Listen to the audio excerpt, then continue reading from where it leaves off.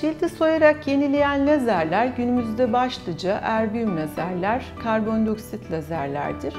Bu lazerler e, cildi hem soyarak hem ısıtarak yenilemektedir. Özellikle erbium e, lazerin ses dalgası özelliğinden de faydalanabilmekteyiz.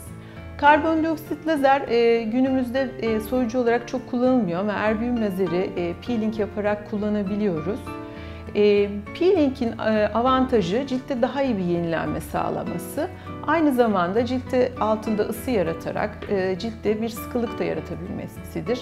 Bu nedenle hem e, parlaklık hem sıkılık açısından deriyi soyan lazerler avantajlı olmaktadır.